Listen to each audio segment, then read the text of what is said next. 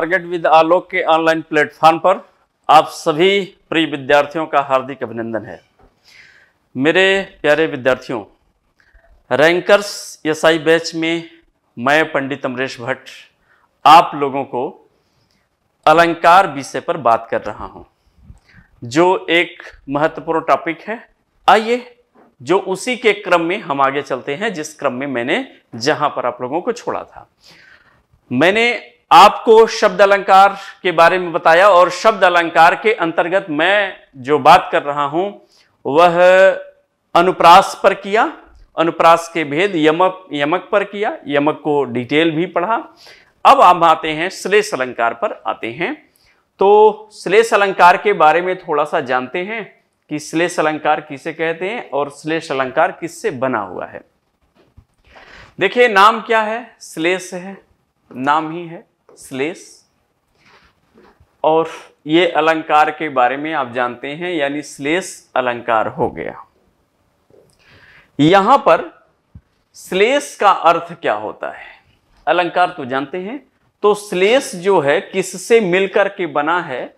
श्लेष जो है, यह श्लिष्ट धातु से मिलकर बना है। श्लेष किससे बना है?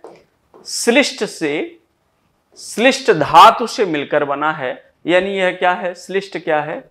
यह धातु है। श्लिष्ट जो है, धातु है। श्लिष्ट धातु से बना है, जिसका अर्थ क्या होता है? चिपका हुआ। अर्थ क्या? चिपका हुआ। या इसी को कहते हैं, आप कह सकते हैं, लगा हुआ कह सकते हैं, या आप कहते हैं, सटा हुआ भी बोल सकते हैं। आपकी इच्छा, आप जो बोलना चाहें, बोल सकते हैं। यहाँ मैं समझाने के लिए आप लोगों को बस इस बात का प्रयोग कर रहा हूँ, यानी इन शब्दों का प्रयोग कर रहा हूँ। बात एक ही है तो यहाँ पर चस्पा है, यानी चिपका हुआ है।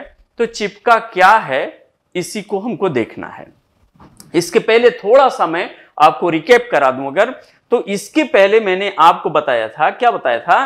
कि मैंने जब वर्ण की बात किया था, वर्णों की आवृत्ति की बात की थी तो वहाँ पर मैंने बताया था कि यह अनुप्रास अलंकार है। यानी वर्णों की आवृत्ति में मैंने क्या बताया? अनुप्रास अलंकार है। यह वर्णों से मिलकर के किसका निर्माण होता है? शब्द का निर्माण होता है। और जब शब्द की आवृत्ति होती है, यानी शब्द का दोहराव होता है तो वहाँ पर मैंने आपको यम का अलंकार के बारे में मैंने ज़िक्र किया था। यानी यम का अलंकार के बारे में मैंने बताया था। अब यहाँ शब्द की आवृत्ति हो रही है, मैंने आपको कल इसके बारे में डिटेल से बताया। लेकिन अब यह कहा जा रहा है कि ये जो शब्द है, अब आवृत्ति नहीं होगी, यानी दोहराव नहीं होगा। शब्द क्या होंगे? एक बार आएँगे। शब्द क्या होगा? एक बार आएगा। लेकिन इसके अर्थ जो होते हैं, यानी इसके जो अर्थ होंगे, वह अलग अलग होंगे। अर्थ क्या होंगे? अलग अलग होंगे। तो शब्द एक हो, अर्थ अलग अलग हो तो वहाँ पर श्लेष अलंकार होगा। इसलिए यहाँ पर मैं आपसे कह रहा हूँ कि ये जो श्लिष्ट है, यह यानी धातु है, इसका अर्थ होता है चिपका हुआ। अब ये इस धातु में चिपका हुआ है क्या? यानी कोई यहाँ पर मान लीजिए एक शब्द लिख दिया गया। और इस शब्द के अंतर्गत क्या है? अर्थ चिपके हुए हैं, यानी शब्द जो है, एक है लेकिन अर्थ इसके अंतर्गत समाहित है, अर्थ इसके अंतर्गत एक ही नहीं लगा हुआ है, बल्कि अनेक लगे हुए हैं। तो वहाँ पर क्या हो जाएगा? श्लेष अलंकार हो जाएगा, जिसको आप क्या कह सकते हैं? श्लेषालंकार भी कह सकते हैं। क्या कह सकते हैं?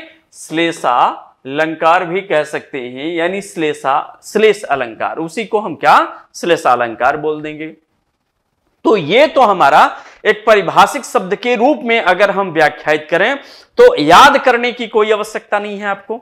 आपको सिर्फ़ क्या करना है, एक बार इसको समझ करके और अपनी परिभाषा स्वयं से निश्चित कर लीजिए, स्वयं से बना लीजिए। कैसे?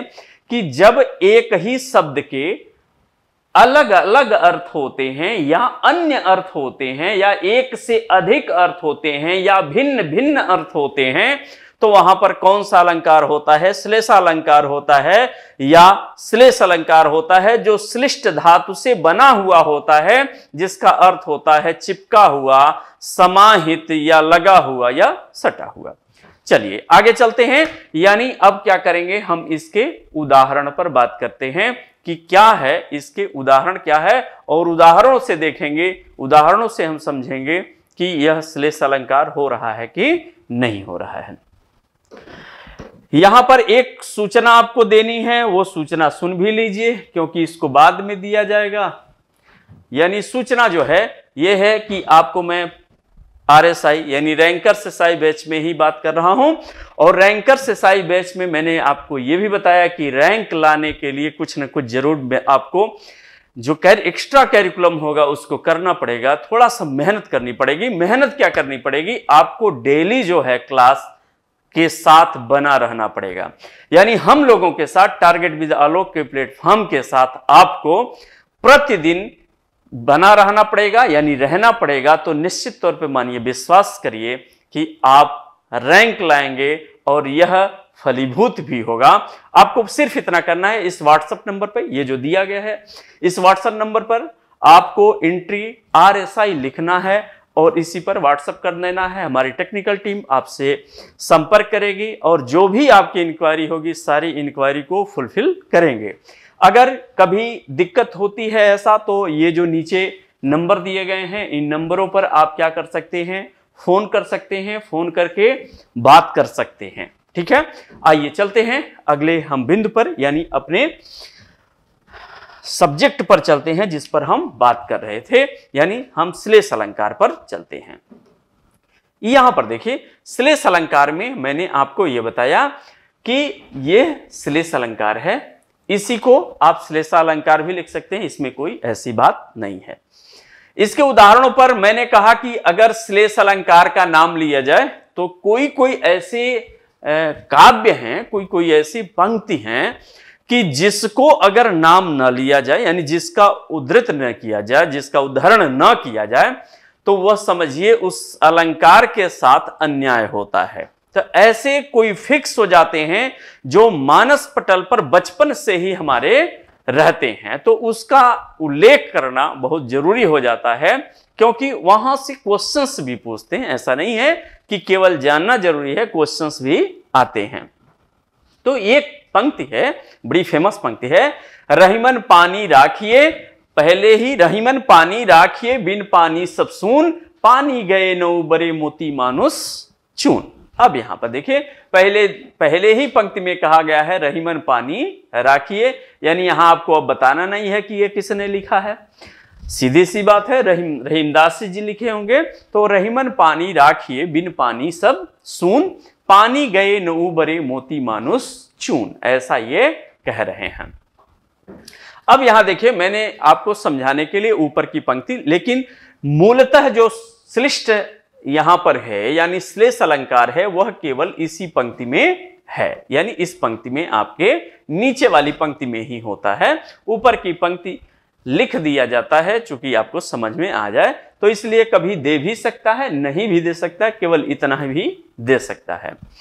अब ये कह रहे हैं कि यहाँ पर पानी गए न उबरे रहीमदास जी कहते हैं, पानी राखिए, बिन पानी सब सुन, बिना पानी के सब कुछ सुना है, लेकिन मेन अर्थ आपको यहाँ देखना है।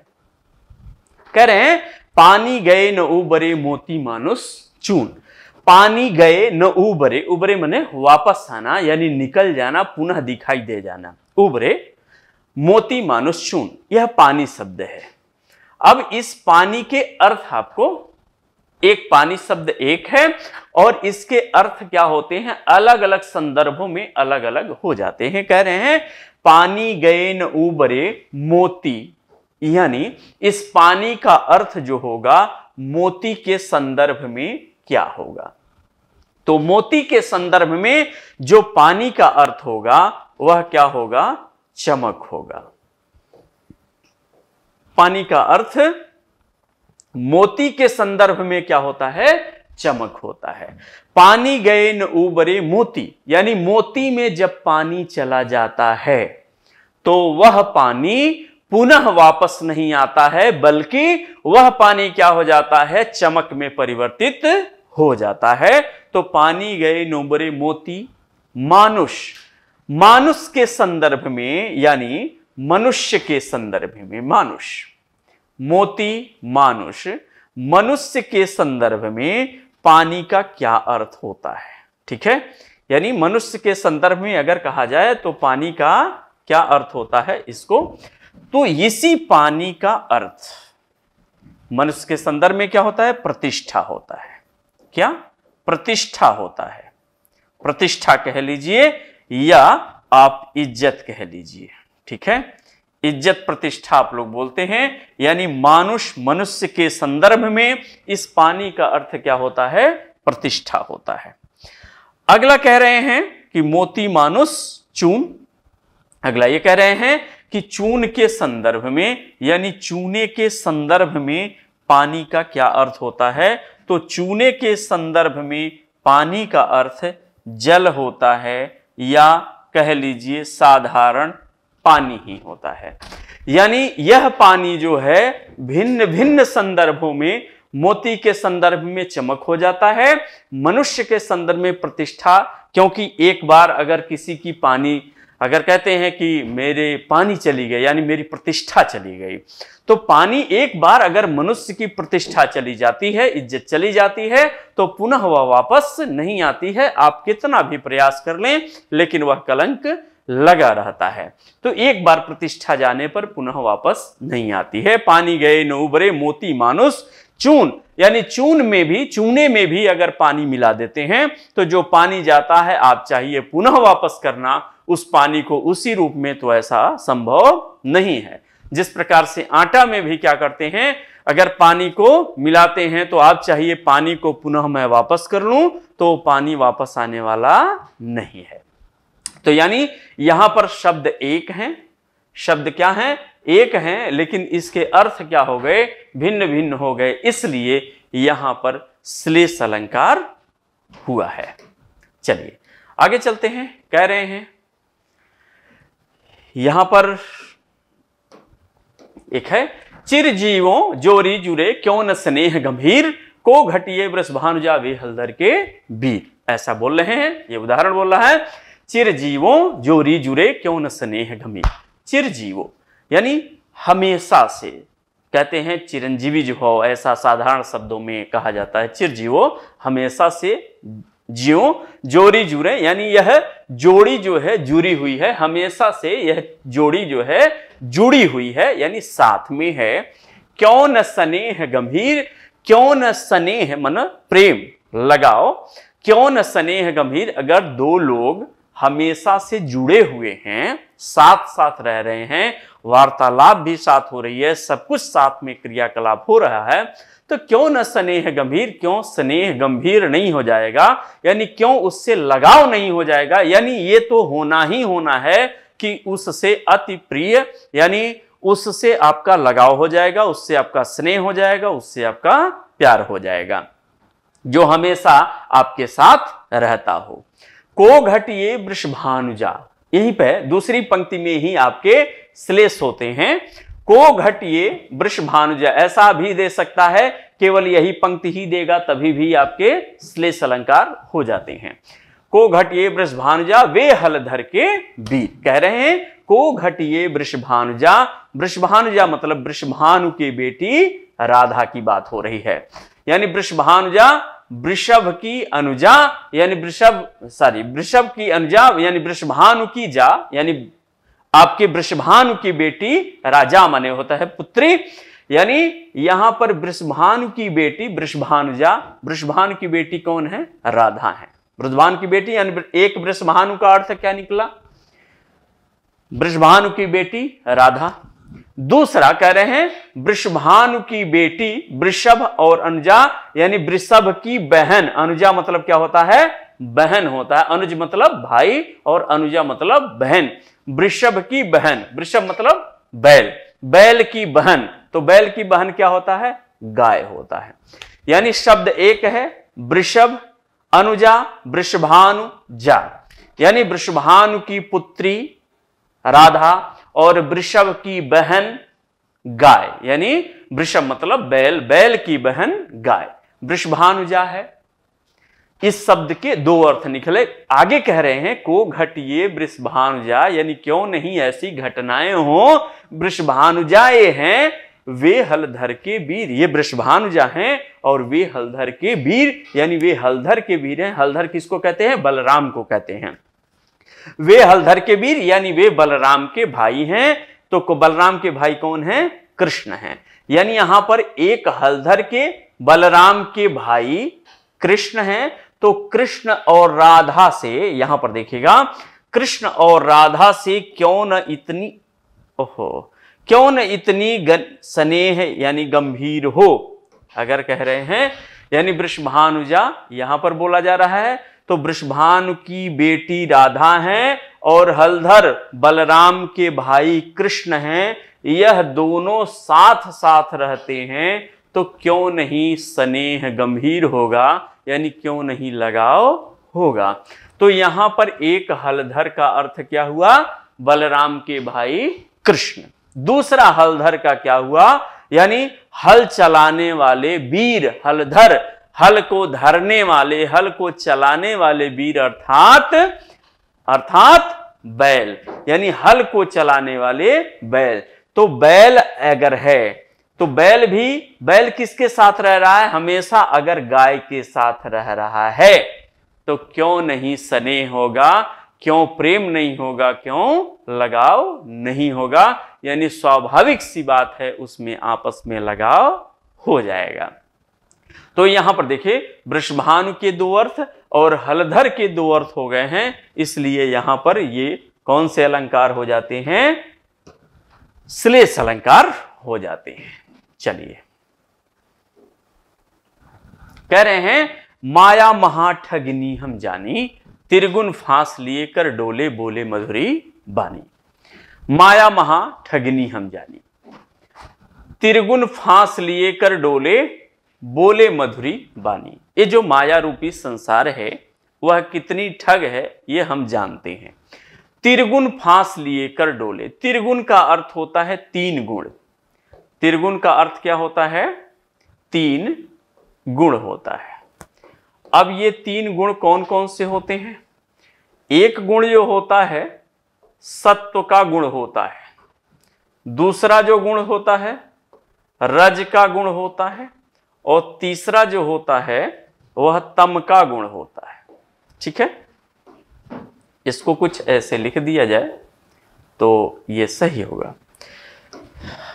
यहाँ देखिए, त्रिगुण है और त्रिगुण का जो अर्थ हुआ। यहाँ देखें कह रहे हैं त्रिगुण है। तो त्रिगुण का एक अर्थ हुआ, तीन गुण। क्या हुए? तीन गुण। और तीन गुण कौन कौन से हैं? तीन गुण कौन कौन से हैं? ये कह रहे हैं कि एक होता है सत्व गुण, ठीक है? एक होता है रज गुण और एक होता है तम गुण, ठीक? अब सत्व गुण को क्या कहते हैं? शतो गुण कहते हैं। क्या कहा जाता है? शतोगुण कहा जाता है। रजगुण को रजोगुण कहा जाता है। और तम गुण को तमोगुण कहा जाता है। ध्यान से इस बात को समझिएगा। तम गुण कहा जाता है। एक अर्थ ये हुआ आपके, और दूसरा अर्थ हुआ तीन धागों वाली रस्सी। तीन धागों वाली रस्सी। ये एक आपका अर्थ हुआ। यहाँ पर बात यह हो रही है कि ये जो तीन धागों वाली रस्सी है तीन गुण हुए। त्रिगुण के दो अर्थ, एक तीन गुण, त्रिगुण त्रिगुण हो गया, और एक तीन धागों वाली रस्सी, इसके दो अर्थ हुए। पहला चीज़ ये श्लेष अलंकार हुआ, दूसरी बात। तीन गुण कह रहे कह रहे हैं सत्व गुण यानी एक इस पूरे संसार में, पूरे कायनात में कौन से गुण वाले हैं? सत्व गुण वाले हैं सत्व गुण वाले हैं सात्विकता का गुण उनमें समाहित है, यानी वो शांत चित्त रहने वाले हैं, हमेशा सत्य की राह पर चलने वाले हैं, यानी उसी में लीन है। एक प्रकार से यह कहिए, चाहे कहिए कि सत्यता में लीन, यानी ईश्वर में, परमात्मा में, अल्लाह में, खुदा में, जीसस में, जिसमें कह लीजिए, उसमें क्या है? वो लीन है, यानी सत्य की राह पर चलने वाले हैं। उसे हम कहते हैं शतोगुण। इस व्यक्ति के अंतर्गत सतोगुण विराजमान है। चलिए, एक गुण ऐसा हो गया दूसरा गुण कह रहे हैं रजगुण। रजगुण मतलब इसी कहा जाता है रजोगुण कहा जाता है। रजोगुण का अर्थ होता है राजसिक गुण होता है, यानी राजसिक गुण का मतलब भोग विलास का गुण होता है। बहुत सी ऐसे लोग होते हैं कि जो इसी संसार में हमेशा भोग विलास की वस्तुओं में हमेशा खोए हुए रहते हैं तो क्या कहलाता है? राजसिक गुण कहलाता है, यानी वो रजोगुण। एक ऐसा वर्ग है कि जो हमेशा इस भोग विलास की वस्तु में खोया हुआ है भोग विलास की वस्तुओं में रमा हुआ है तो एक वर्ग ऐसा है जो राजसिक गुण में है, एक वर्ग ऐसा है जो शतो गुणों में है। एक वर्ग ऐसा है, एक होता है तम गुण तो तम गुण को तमोगुण कहते हैं, यानी एक वर्ग ऐसा है जो तमोगुण में, यानी तामसिक प्रवृत्तियों में मार, काट, खाना, पीना, ऐसा कुछ, तामसिक प्रवृत्तियों में क्या है, वो हमेशा उसी में डूबा हुआ है, एक वर्ग ऐसा है। अब यहाँ पर इन तीनों में, यानी शतोगुण रजोगुण और तमोगुण जो हैं, इन तीनों में मेल नहीं होना चाहिए, इन तीनों में एकाकार नहीं होना चाहिए, तीनों का मिलन नहीं होना चाहिए।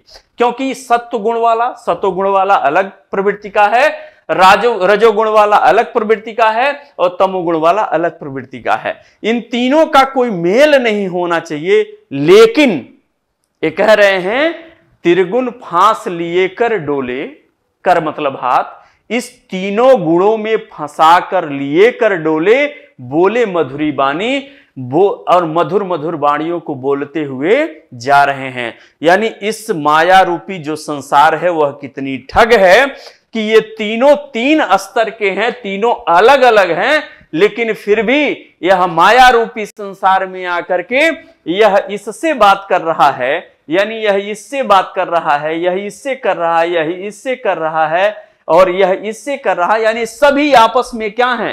इंटरलिंक हैं और प्रेम मत बोलते हुए आगे बढ़ते हुए चले जाते हैं। ये माया रूपी संसार है। तो कब ये कह रहा है? दूसरा कह रहा है कि तीन धागों वाली रस्सी। यहाँ तीन धागों वाली रस्सी से इसका तात्पर्य है कि जो पहले जो है तीन धागे की जो रस्सी होती थी, बड़ी मज़बूत हुआ करती थी। जैसे आप अब तो ऐसा हो गया है कि एक ही धागा आ गया है, अब की बात तो नहीं है। अब तो बिना धागा का भी हो गया है, ये कह लीजिए। लेकिन पहले सावन चल भी रहा है। सावन में झूला पड़ता था, सावन के झूलों ने मुझको बुलाया, ऐसा तमाम आपके गाने भी हैं। और सावन यानी सावन के महीने में झूला पड़ता था, वो जो झूले होते थे, वो तीन धागों की रस्सी, यानी मोटे मोटे रस्सा हुआ करते थे, और उसी में उसी में झूला पड़ता था तो उसमें महिलाएँ बीच में बैठती थी, और अगल बगल जो किनारे है, किनारे में जो कुछ लड़कियाँ हैं या कुछ लड़के हैं, वो पेंग मारते थे, यानी झूला इधर से उधर खूब ऊँची ऊँची जाता था तो रस्सा क्या है, वो तीन धागों से बना हुआ रस्सा था, बड़ा मज़बूत था, और उसी में क्या है त्रिगुण फांस, इसी में, यानी इस तीनों, तीन धागों वाले रस्सी में फंसा करके ये महिलाएँ क्या गाती थी, कजरी गाती थी, यानी मधुर मधुर वाणियों को बोलते हुए मधुर मधुर वाणियों को निकालती हुई मधुर मधुर रूप से वह संगीत का गायन करते हुए वह चली जाती थी, यानी मस्त रहती थी। यानी अब तो सारी परंपराएँ लगभग देख रहे हैं, समाप्त हो जा रही, लेकिन फिर भी अभी ग्रामीण परिवेश में कुछ परंपराएँ बची हुई हैं। यानी यहाँ त्रिगुण के अर्थ दो हो गए, इसलिए यहाँ पर क्या हो जाते हैं? श्लेष अलंकार हो जाते हैं। चलिए, आगे चलते हैं। अगला कह रहे हैं, देखते हैं क्या है।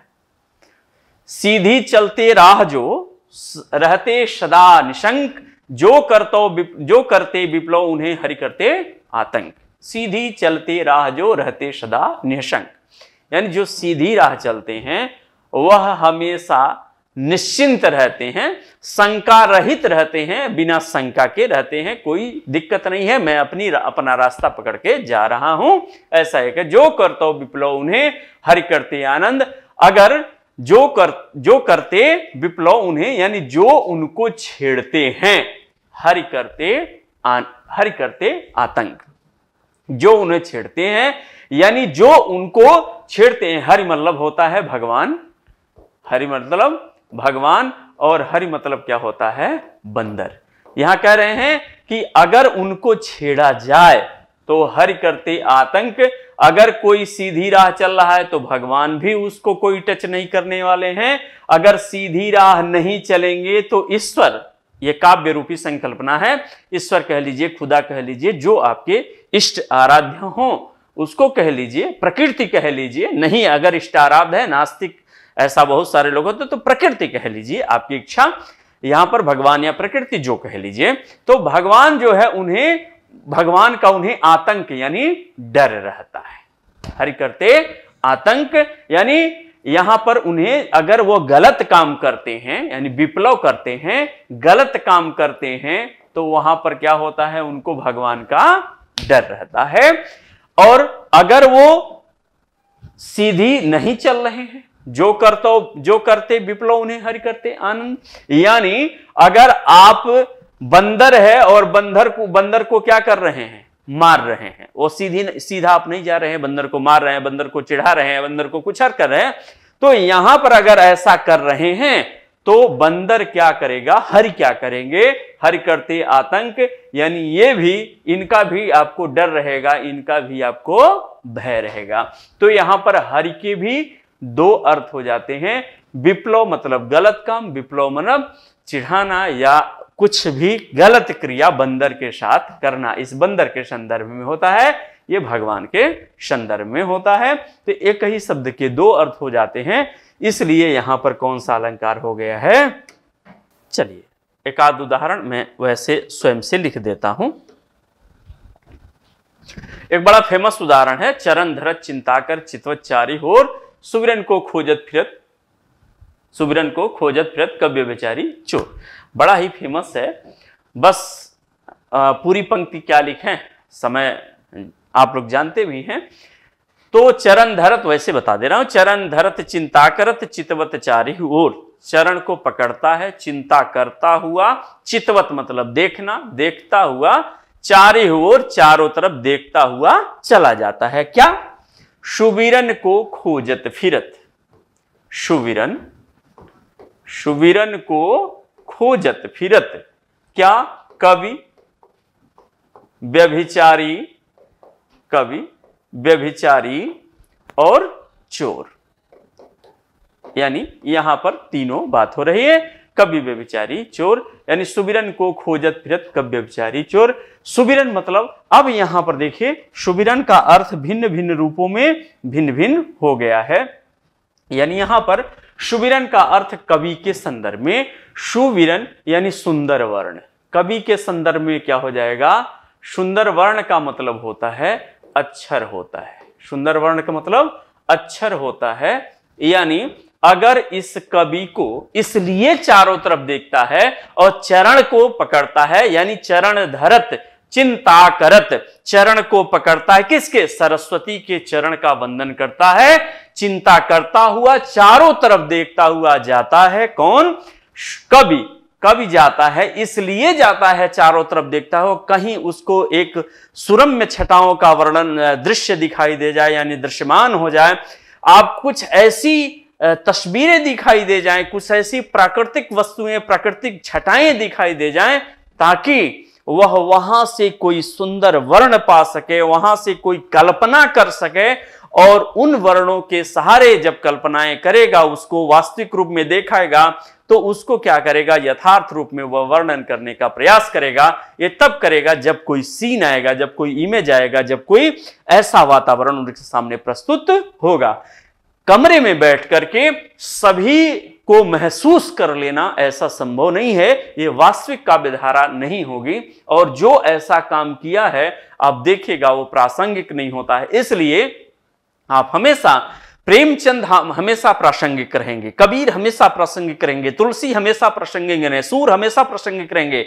यह वस्तु विषय को लेकर के और उस पर मंथन करके लिखे हैं। लेकिन आजकल के कवि अब के कवि खद्योत सम जह तह करत प्रकाश। आप देख लीजिए। शूर शूर, मैं कल ज़िक्र किया होगा। सूर शूर तुलसी ससी उडगन के सोदास अब के कवि खद्योत सम जहत है करत प्रकाश, यानी जुगनू है। अब के कवि क्या है? खद्योत हैं। जुगनू, वो जो देखते हैं ना, रात में जो उसको जलता है, उसको क्या कहा जाता है? भुगजुनिया या भगजुनिया कहा जाता है। जो जहाँ तह करत प्रकाश, जहाँ जहाँ वो रात में बच्चे पकड़ते हैं, जहाँ तह करत प्रकाश कहीं प्रकाश होगा, कहीं बंद हो जाए, प्रकाश होगा, बंद हो जाएगा। अब के कवि कुछ ऐसे ही हैं, क्योंकि अब इलीट वर्ग के कवि हैं, कमरे में बैठ करके और नई नई रचनाएँ कर रहे हैं तो प्रासंगिक नहीं होंगी। वह अनुकरणीय नहीं होंगी। यही कुछ ऐसा ही लिखा जाएगा। लेकिन ये कहिए, आने वाली जो पीढ़ियाँ हैं, उससे कुछ सबक ले सकें, वह कुछ शिक्षा दे सकें, ऐसी कविताएँ नहीं लिखी गई हैं। नहीं लिखी जाएँगी।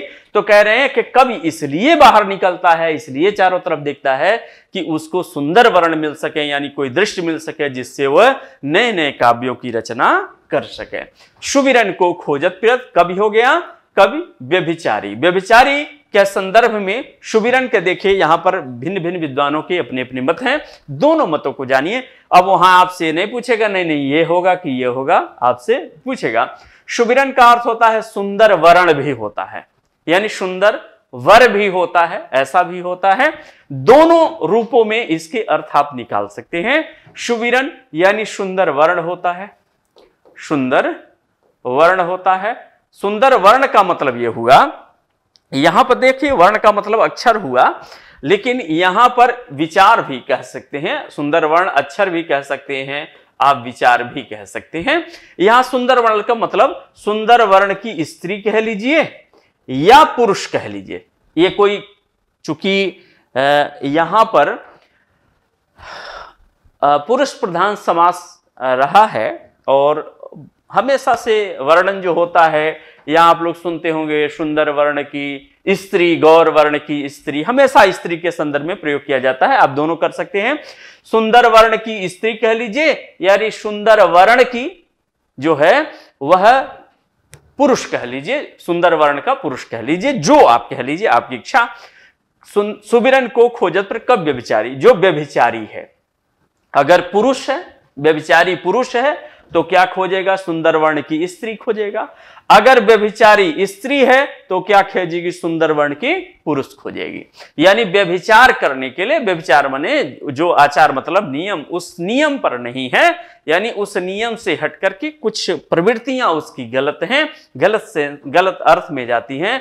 तो इसलिए व्यभिचारी चारों तरफ़ देखता हुआ चला जाता है कि उसको कहाँ से सुंदर वर्ण की स्त्री अगर पुरुष है तो और महिला है तो सुंदर वर्ण के पुरुष कहाँ उसको दिखाई दे जाएँ, जिससे वो वार्तालाप करे और आगे की प्रक्रिया चले। चलिए, आगे चलते हैं। चोर। चोर के संदर्भ में शुभिरन का क्या अर्थ होता है? चोर के संदर्भ में शुभिरन का अर्थ होता है स्वर्ण होता है। चोर के संदर्भ में क्या होता है? स्वर्ण होता है। चोर इसलिए चारों तरफ़ देखता है और चिंता करता हुआ जाता है कि कहाँ से उसको स्वर्ण मिल जाए, सोना मिल जाए, जिससे वह उसको खींच सके, उसको पा सके और लेकर के भाग सके। तो शब्द क्या है? एक है सुबिरन है और इसके भिन्न भिन्न अर्थ हैं। इसलिए यहाँ पर कौन सा अलंकार होगा? श्लेष अलंकार हो जाएगा। यानी ये रहा है आपका, ऐसे ही मंगन को देत पट देत बार बार है, ऐसे तमाम आपको उदाहरण मिल जाएँगे। चलिए तो ये रहा आपका श्लेष अलंकार, ठीक है?